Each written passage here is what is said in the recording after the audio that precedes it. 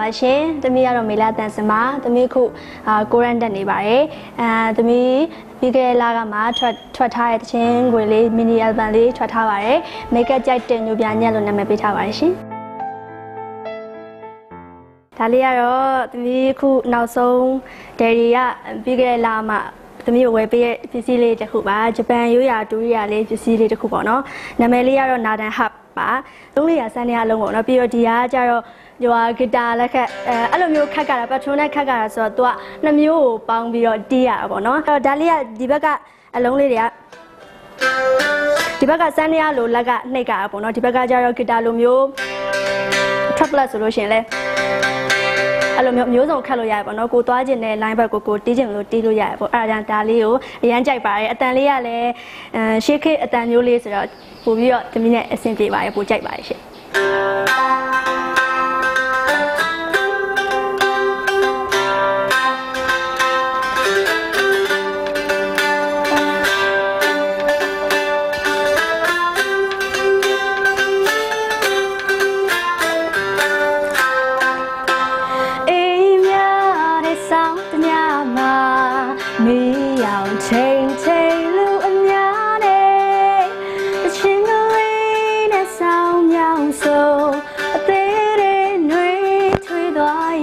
မယ်